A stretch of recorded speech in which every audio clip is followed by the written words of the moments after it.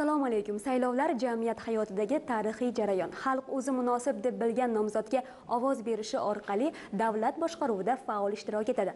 Albatta bunday muhim jarayonlarda jamiyatning asosiy negizi hisoblangan yoshlarning faolligi ishtiroki muhim masala hisoblanadi. Bu borada oliy ta'lim muassasalarining ahamiyati katta. Shu boisdan ham oliy va o'rta maxsus ta'lim vazirligi tomonidan saylov jarayonini puxta va yuqori saviyada o'tkazishni ta'minlash shu bilan birgalikda professor o'qituvchilar va talaba yoshlarni ushbu siyosiy jarayonda faol ishtirokini ta'minlash maqsadida qator chora tadbirlar belgilangan bo'lib ushbu vazifalarni ijrosini ta'minlash maqsadida ta'lim muassasalarida qator amaliy ishlar boshlab yuborilgan. Bugungi ko'rsatuvimizda toshkent davlat yuridik universiteti tomonidan saylov 2021 kelajaging uchun ovoz ber shiori ostida tashkil etilgan loyiha haqida to'liqroq ma'lumot olamiz. Eslatib o'tamiz bizning bugungi suhbatdoshimiz toshkent davlat yuridik universiteti prorektori ahror hoshimxonov. Assalomu alaykum ahror aka. Assalomu alaykum. Saylovga bag'ishlangan ushbu loyihada bir nechta oliy ta'lim muassasalari ham qamrab olinar ekan. Keling shular haqida to'liqroq ma'lumot bersangiz. Mazkur e, tadbir doirasida toshkent shahridagi yetakchi ta'lim muassasalari bilan hamkorlik qilinmoqda. Jumladan o'zbekiston sharqshunoslik universiteti o'zbekiston sharqshunoslik instituti o'zbekiston madaniyat va san'at instituti va o'zbekiston milliy universiteti talabalaridan iborat yetuk faol ishtiyoqi baland huquqiy siyosatni mamlakatimizdagi islohotlarni qonunchilik hujjatlarini a'lo darajada o'rgangan yoshlarimiz mazkur targ'ibot poyezdida toshkent davlat yuridik universiteti talabalari bilan bir jamoa sifatida shakllanib mana o'qitildilar va ular endi o'z targ'ibot poyezdi orqali viloyatlardagi huquqiy targ'ibot va tashviqotni oshirishga qaratilgan faoliyatni boshlaydilar. Keling e, ushbu targ'ibot poyezdi haqida to'liqroq ma'lumot bersangiz e, unda talabalar va o'qituvchilar ishtiroki nechtani qamrab oladi? Darhaqiqat mana bu targ'ibot poyezdi loyihasidan ko'zlangan maqsad respublikamizning barcha subyektlari ya'ni o'n to'rtta qoraqalpog'iston respublikasi viloyatlari va toshkent shahridagi viloyatlar markazidagi yetakchi ta'lim muassasalari binolarda va barcha oliy ta'lim muassasalarini qamrab olishni o'z oldiga maqsad qilgan. Shu maqsadda ushbu poyezd a'zolarining umumiy soni bir yuz qirqtani tashkil etadi. Ya'ni har bir hududga o'n nafardan e, talaba va o'qituvchilar biriktirilgan jumladan o'zbekiston madaniyat va san'at institutidan o'sha san'at yetuk san'at ustalari va qo'shiq kuy bastalagan yoshlardan iborat ikkitadan jamoa. O'zbekiston e, jurnalistika universitetidan bugungi islohotlarni mazmun mohiyati to'g'risida e, ma'ruza qilish uchun ikkitadan har bir viloyatga jamoa e, talabalar shuningdek o'zbekiston milliy universitetidan bittadan va sharqshunoslik universitetidan bittadan mana shunday yetuk mutaxassislar jamoaga kiritilgan shakllantirilgan va umumiy hisobda toshkent davlat yuridik universitetidan har bir viloyatga uchtadan va e, universitetimizdan har bir viloyatga ketayotgan guruhlarga rahbarlikni amalga oshiradigan o'n to'rt nafar professor o'qituvchilarimiz guruh rahbari sifatida jamlandi. Va ular albatta man aytishim kerak e, tegishli tarzda qurollantirildi. Ya'ni qaysi ma'noda? Universitet professor o'qituvchilari mana shu saylovga oid huquqiy hujjatlarni sharhlash izohlash va u bo'yicha bir qancha kitob va risolalarni muallifi bo'lgan yetuk mutaxassislar tomonidan e, bir necha kun davomida o'qitilib ularga o'sha elektron o'quv qo'llanmalar risolalar e, qo'llariga taqdim etilib oxirgi ma'lumotlar bilan ular qurollantirilgan holda e, demak viloyatlarga kuzatildi.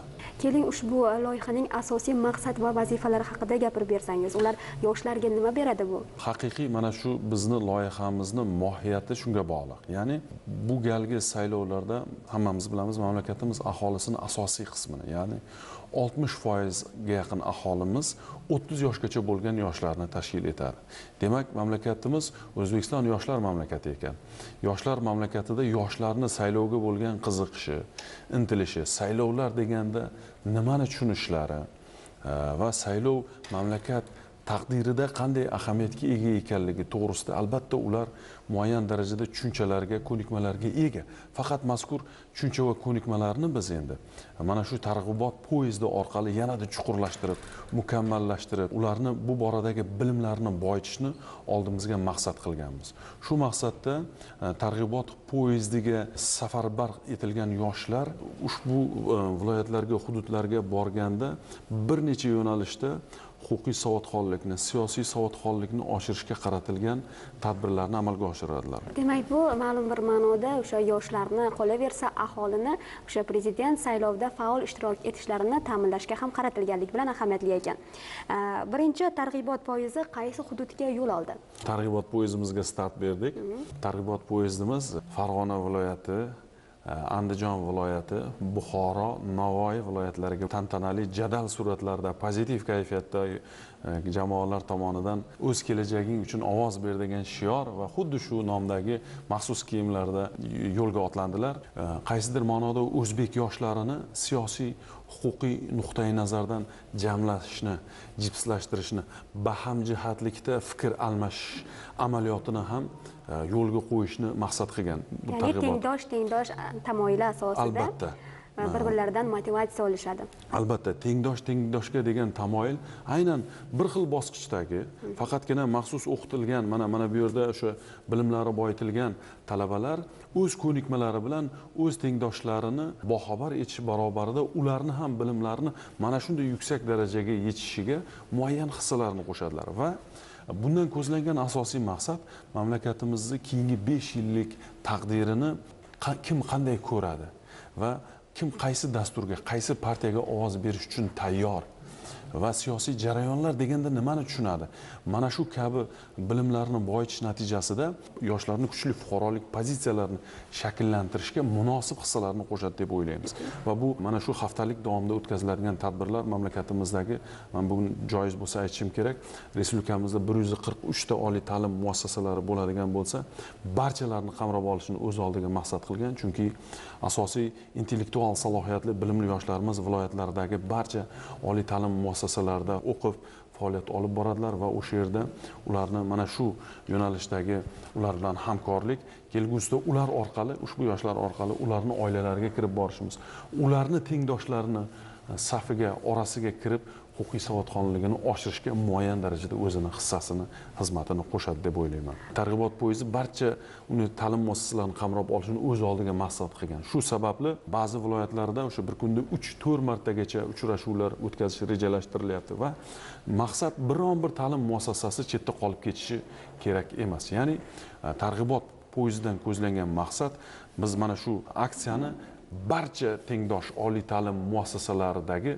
o'qiyotgan talabalarni e'tiboriga ixtiyoriga ongiga yetkazishni maqsad qilganmiz va mana shuni ta'minlash yakuniga yetgach targ'ibot poyezdi haftani oxirida albatta e, muvaffaqiyat bilan e, man o'ylaymanki toshkent shahriga qaytib keladi. Shu o'rinda bir savol bersam e, ushbu targ'ibot poyezdi loyihasini yoshlar qanday kutib olishdi? Mana toshkent davlat yuridik universitetidan o'sha har bir viloyatga biriktiriladigan yoshlar bo'yicha biz e, haligi qaysidir ma'noda kasting e, e'lon qilib e'lon berganimizda xohlovchilar viloyatlar kesimida iqtidorli yoshlarni a'lo bahoga o'qiyotgan talabalarni targ'ib qilganimizda bilasizmi ikki yuzdan ortiq har bir viloyatga bir necha o'nlab talabalar o'z xohishlari bilan targ'ibot poyezdida faollik ko'rsatib tashviqot ishlarida jonbozlik ko'rsataman deb o'zlari nomzodlarini tavsiya etdilar. Albatta biz bundan juda yam xursand bo'ldik. Boshqa ta'lim muassasalaridan ham hali hanuz biz ham targ'ibot poyezdida ishtirok etsak bo'ladimi degan iqtidorli yoshlar kuchli orator yoshlar yoki madaniyat va san'at universitetining kuchli bilimli san'atkor yoshlari ham murojaatlarini haligacha davom ettirmoqda. Man buni aytishim kerak. Bundan man juda yam mamnun bo'ldim va biz bu mana shu targ'ibot poyezdi a'zolarini shakllantirishda ishchi guruhi tashkil etib talabalarning o'sha kuchli notiqlik qobiliyatini e, e, saylovga oid qonun hujjatlarini mukammal o'rganganlik darajasini topqirligini e, islohotlarni qonun hujjatlariga kiritilgan o'zgarish va qo'shimchalarni o'z tengdoshlariga yetkazib bera olishdagi nutq madaniyatini inobatga olib ularni ichidan mana shunday bugun o'g'il va qizlardan iborat bo'lgan jamoalar shakllantirildi. Bugungi kunda mamlakatimizda yoshlarni huquq va manfaatlarini himoya qilish siyosiy jarayonlarda ularni ishtirokini ta'minlashga katta e'tibor qaratilmoqda. Kelajak bunyodkorlari bo'lgan yoshlar uchun prezident saylovida faol ishtirok etish yurt taqdiriga daxldorlik vatanparvarlik xalqqa mehr ona vatanga sadoqatni yana bir bor namoyon etishda muhim jarayon hisoblanadi. Mazkur loyiha esa saylovga respublikamizning oltin fondi bo'lgan talabalar ishtirokini ta'minlashga xizmat qilishi bilan ahamiyatlidir. Loyiha doirasidagi ilk anjumanda ham ishtirokchilarga bu yo'nalishdagi tadbirlarning ahamiyati unda talabalarning vazifalari xususida ma'lumotlar berildi.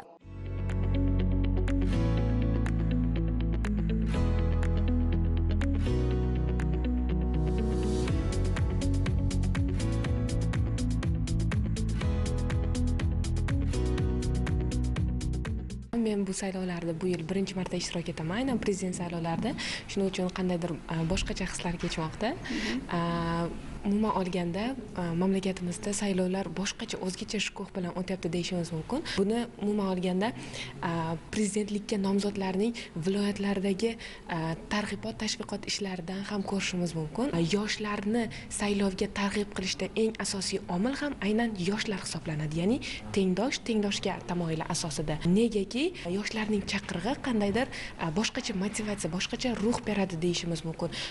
Shu tufayli biz ham mana targ'ib targ'ibot poyezdlar orqali o'zbekistonning barcha hududlariga jo'nab ketyapmiz. Siz qaysi viloyatga yo'l olmoqchisiz men o'zim shaxsan namangan viloyatiga biriktirildim. Assalomu alaykum. Siz qaysi viloyatga yo'l oldingiz? Avvalambor assalomu alaykum. Man surxondaryo viloyatiga biriktirilganman. Chunki biriktirilishimga sabab man o'sha viloyatda tug'ilganman va o'sha viloyatning ijtimoiy siyosiy muhitini o'sha yerdagi siyosiy ongni rivojlantirishga yoshlarni saylovga jalb qilishga va ijtimoiy ongni rivojlantirish uchun biriktirilganmiz. Mana o'zbekiston jurnalistika va ommaviy kommunikatsiyalar universitetidan targ'ibot poyezdida aynan surxondaryo viloyatiga biriktirilgan talabalar ikki kishini taklif etadi.